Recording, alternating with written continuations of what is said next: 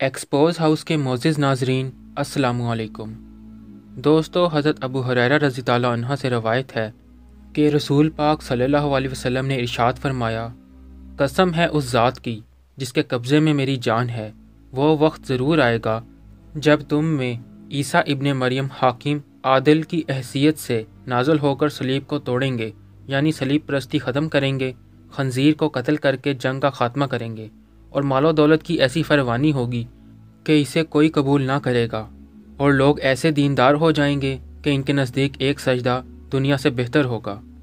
अहदीस शरीफ के अल्फाज, कत्ल खंजीर से मुसलमानों ने हमेशा यही मतलब लिया है कि हज़रत ईसा इस्लाम के दोबारा नाजुल होने के बाद खंजीर खाने वाले और इसको पालने वाली कौम मुसलमान हो जाएगी। तो वही इसको कत्ल करने वाले होंगे, क्योंकि खंजीर का कत्ल नजूल ईसा इब्ने मरियम के सबब होगा। यहाँ ये सवाल पैदा होता है कि हज़रत ईसा इस्लाम आखिर खंजीर को कत्ल क्यों करेंगे? दोस्तों, इसका जवाब ये है कि खाने की चीज़ें जिस्मानी और इखलाकी बिगाड़ का सबसे बड़ा सबब हैं। मेडिकल साइंस के मुताबिक हम जो कुछ खाते हैं, वैसे ही असरात हम पर हावी होते हैं। खुदा ताला कुरान पाक में फरमाता है, इसने तुम पर सिर्फ़ मुर्दार और खून और सूर का गोश्त और वो जानवर जिस पर ज़िबा के वक्त गैर अल्लाह का नाम पुकारा जाए हराम किया है। दोस्तों, ऐसे जानवर का खाना और इसको अपने जिसम का हिस्सा बनाना नजासत और बीमारी के सिवा और कुछ नहीं। इसलिए सब पैगंबरों ने इसको खाने से मना किया है। यहाँ तक कि हज़रत ईसा उतरेंगे तो वो भी इसको कत्ल करेंगे। मेडिकल साइंस के मुताबिक खंजीर के गोश्त में तिब्बी लिहाज से बेशुमार खराबियाँ हैं।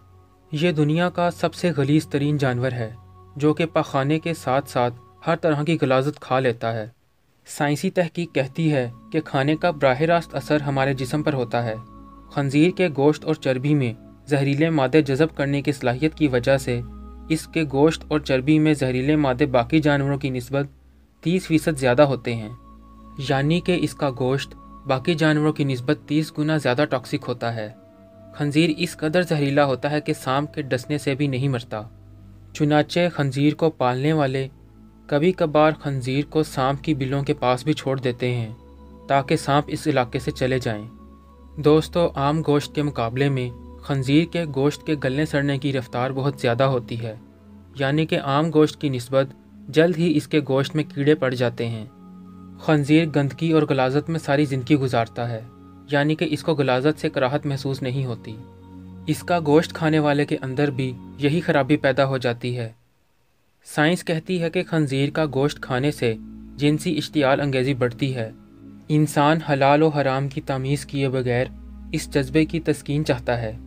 दोस्तों, खंजीर इंतहा दर्जे का बेगैरत जानवर है, क्योंकि पूरी दुनिया में ये वाहिद जानवर है, जो कि हम जिन्स प्रस्त है और जिनसी तस्कीन के लिए नर और मादे की तमीज़ नहीं रखता।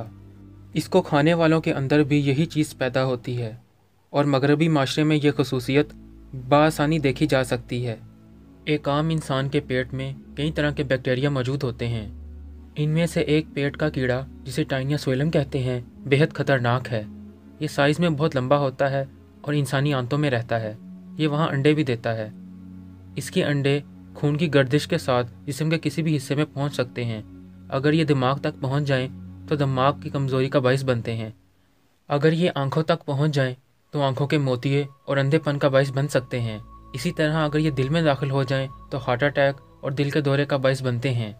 दोस्तों, ये कीड़ा, जिसको आम जमान में टी वार्म कहते हैं, इंसानी जिसम के किसी भी हिस्से को नकारा कर सकता है और ये खंजीर के गोश्त में बहुत बड़ी मकदार में पाया जाता है।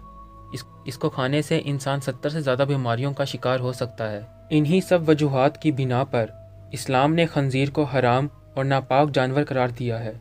बेशक गौर फ़िक्र करने वालों के लिए कुरान पाक में खुदा की खुली निशानियाँ हैं। दुआ है कि अल्लाह हम सबको हराम खाने से महफूज रखे और हमारा ख़ात्मा ईमान पर करे। आमीन। दोस्तों, ये आज की छोटी सी वीडियो। उम्मीद करता हूँ कि आपको पसंद आई हो। मैं मिलूँगा आपसे किसी और दिलचस्प वीडियो में इन तब तक अपना ख्याल रखिएगा। Thanks for watching